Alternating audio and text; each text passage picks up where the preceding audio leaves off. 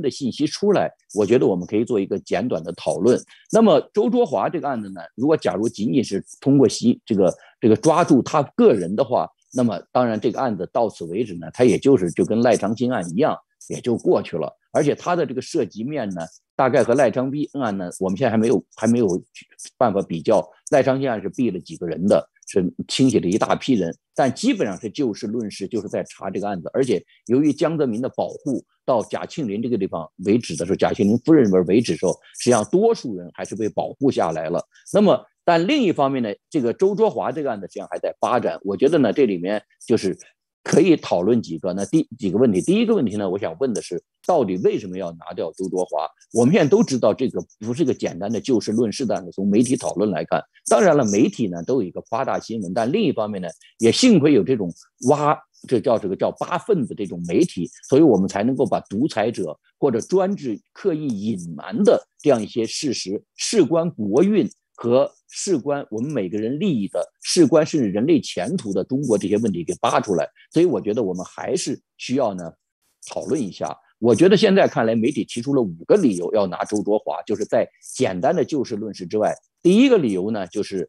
境外一些媒体说呢，拿周卓华是因为呢孙立军进一步清洗孙立军，而孙立军呢是因为卷入了一个叫这个谋逆或者是这个要刺刺杀习近平的案件。这个呢，我暂不讨论，因为这个呢听起来呢有些离谱，而且呢现在手里没有太多证据，而且如果他是这么简单的话，那么拿掉孙立军，拿掉周志华，这个案子就到此为止了，对于我们未来没有什么太大影响，最多就是告诉我们反对习近平人很多，甚至也有人愿意铤而走险，但这个我们都知道这是有的。第二呢，就是说呢，他是为了这个反洗钱，那么为了中国的这个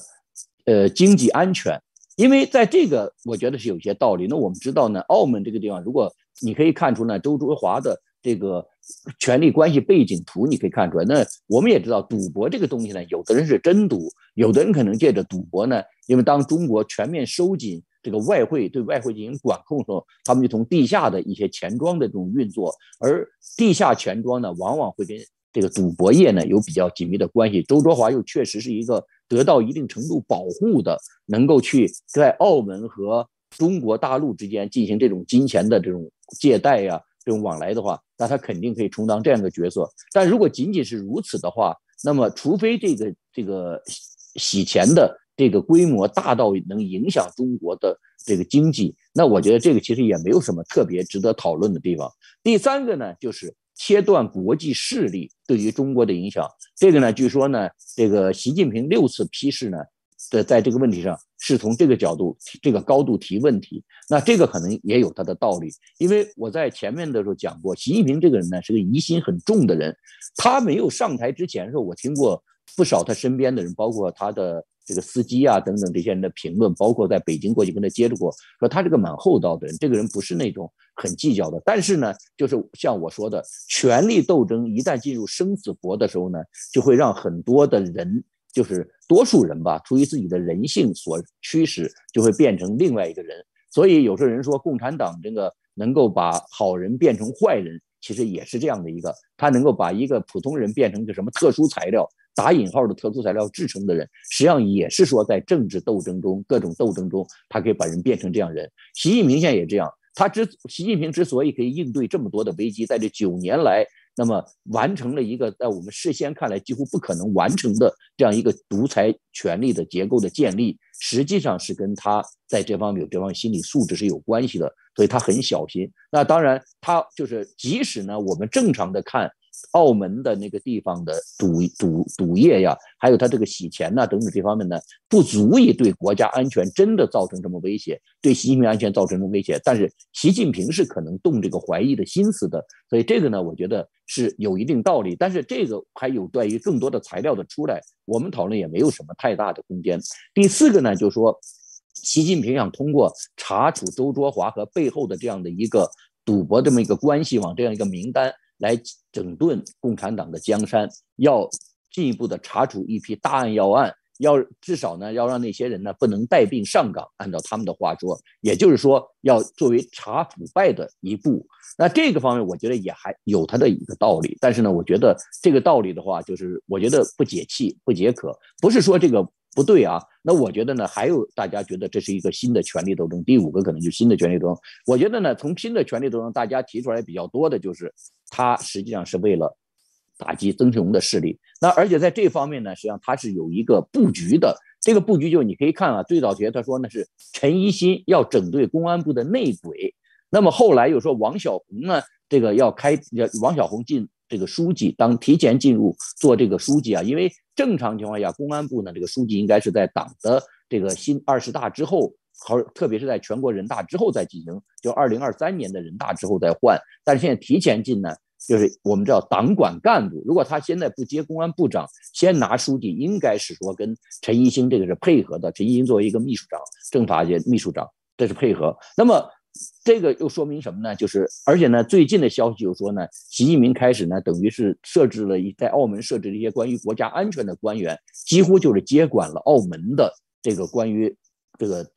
司法。这个叫这个全面接管，而且把它直接和中国大陆的司法挂钩，变成了中国大陆的司法的一个部分。这一点的话，我觉得很重要，就说明什么呢？习近平高度重视他的一个是把公安部的这个抓拿住，一个是把澳门这个拿住。那我觉得这是权力斗争一盘大棋。我猜测的这个，我想这个是有道理的。他要在这地方要对曾庆红、对江泽民的势力下手，因为现在没有别的势力值得他在做这么大的动作。就是那么，当然这件事我们就是姑且我们往下看，他可能是不是就从此开始要对曾和江的势力要开战？这个开战不见得要动他们本人，可能要把他们的一些这个底下的一些比较硬的这些爪子给去掉。这是呢，他可能要做的一件事儿。那么，但是这里面就反映出呢，这个中共权力斗争，我觉得习近平的权力斗争两个特点。第一个特点呢，就是中共啊，这个党和枪，这个和刀把的这种交互使用。这个很早的时候，你就告诉我说，中共中央的总书记其实本来是个集体领导制，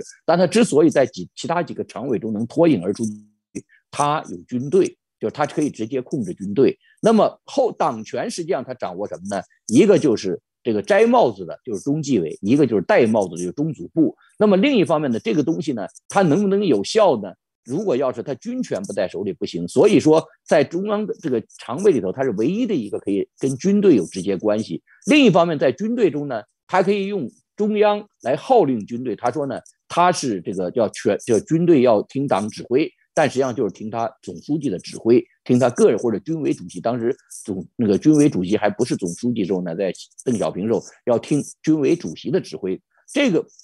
这样一个制度就给共产党的宫廷政治带来特殊的。意义。第二个，我觉得可以呢，就是说，你可以看出，习近平在搞这个权力斗争的时候，都是拿一些什么黄赌毒的这些事情来作为突破口。其实他选澳门去突破对曾庆红或者江泽民势力，也是一个非常能招致民恨、容易把自己的政敌抹黑的地方。因为这个地方就是澳门，大家一提到澳门就知道那是个黄赌毒的地方。第二个呢，提到澳门的话。也可以想，那个地方呢，应该说他在境外，所以共产党的其他的力量啊，直接进入呢不太容易。只要他把澳门的警方接管了，他就可以在那儿为所欲为。而且因为其他地方的监察机构不大容易能够进到那个地方去，包括中国的媒体也不容易进去。所以那所以他选择这个突破口很有很有这个，这就是习近平的权力斗争模式，巧妙的利用党和刀把子之间的相互制约、相互促进。另一方面，选好突破口。进行大规模征清洗，我们可以预期啊，二十大以前的时候呢，可能共产党会有大规模的这种权力斗争和大规模的政治清洗。但这个新闻还给我带出了一个问题，就是说习家军内部会不会有分歧？实说实话，就是因为从我在想说谁是主要操刀手，我就发现呢，有两个说法，都是明镜呢，当时呢都做了节目，一个呢就是陈一新要抓公安部的内鬼，然后拿周戳华。还有一个就是王小平、王小红就任后第一刀是拿周卓华来祭刀，那到底是王小红还是陈一新呢？我现在倾比较倾向于呢，就是陈一新，因为陈一新这个人呢，我们可以看一下他履历，他其实在去年立了一个大功，就是在武汉的时候。当我因为我们我们如如现在没有时间再回顾了，在治疫期间本来是有两个司令部，一个呢是中共中央政治局任命的李克强来领导的中央治疫领导小组，还有一个呢就是习近平的党中央四个意识两个维护说的党中央，这个呢这两个实际上在在较劲儿的一个关键就在于要不要公开化。如果要是李克强那个小组就反复说谁隐瞒疫情就要查谁，那么而且该谁负责谁负责，那样查下去会把习近平给弄出来。所以习近平呢就一直就在这叫板。后来在有一次的武汉连续两天就出现了湖北就出现病例超过一万的，这个时候呢，这个陈一新紧急空降当英勇接管了湖北省委书记。陈一新呢作为湖北省的这个叫中央那个副组长，然后接管了武汉的。于是，在第三天就把疫情的数字降下来了。后来你可以看当时的讨论说，本来按照国际规则，后来又恢复到中国自己的规则，就是说，已经到这人有疑非常疑似症状的时候呢，还不能够他的他的那个还是阴性，不是阳性，那就是他那个试剂呢就有问题。所以。在这个情况下，我觉得陈一新是给习近平立了大功的，那就是按照习近平的说法，在大风大浪中经住了考验。这一次，我觉得从抓孙立军到一直下来之后，一直到后面的二十大帮着习近平搞清洗，陈一陈一新可能进一步会立功。王小红，我觉得可能是给他做配合的。王小红在历史上上他没有干过什么事情，雷洋案栽跟头就不说了。你可以说那个傅政华给他下的套，但是反正他栽了个跟头。那在前面那个皇家一号，我也说过，我我专门钻过节目，那是个假案子，大家有时间可以到博讯上可以查一下。我当时跟他讲的那些照片，凡是有人的那些妓女的照片，全是假的，都是安上去的，都是你可以在媒体的报道可以查别的图案的那个黄案上可以找到的。那么王小红是靠这个东西上来的，所以在在陈在习近平的心中心里是明白的，王小红可能在这方面能力上远远不如陈一新，所以我觉得陈一新呢可能是在这个方面。那么这里就带出一个问题，我们都知道毛泽东搞文化大革命是吧？搞成了之后呢，他的一文一武。文呢，就是江青这个四人帮集团；武就是林彪集团，就开始发生分裂，于是就闹矛盾。所以习家军呢，将来也肯定要分裂，因为这是当习近平把他外部敌人都铲除之后的，他的内部叫分化。那么这个分化呢，这是专制斗争中必然产生。其实民主一样。就是利益集团嘛，这个社会的利益是多元的，思思想是多样的，他们总要有代表人物在这个决策程中要表述出来，旧的没有，他就要找新的，而且新的人呢，为了进一步往上走，他开始是为了解决问题，后来是为了自己的权位，也会去寻找自己的社会基础和支持力量，这样就会形成新的权力斗争格局，而原来的这个呢，他们的头呢就变成了要左右，左左右平衡。那毛泽东过去那一九大一开会的时候，左边坐的全是文化大革命中上上来的，右边坐的文化大革命打倒又解放出来的人，或者还没有彻底打倒的人，这就是一个必然的一个规律。所以专制斗争这死穴，民主斗争也有这个问题，对吧？美国也有左右之争，但是他通过公开的这种程序、公开的辩论。然后通过公开的选举，而且如果选举不服，还有司法，对吧？司法不服呢，还以后还有过以后的这种追责问责，它有一套机制。但只是民主和专制哪个好呢？我觉得大家可以一目了然。民主这是这种透明的、公开的、这种平等的这种竞争，实际上是要比专制有更有大的优势。第三个问题呢，我就没时间谈了，就点就点两句。现在西方对西方国家主要挑战，西方国家现在基本上就是这个奥叫这个，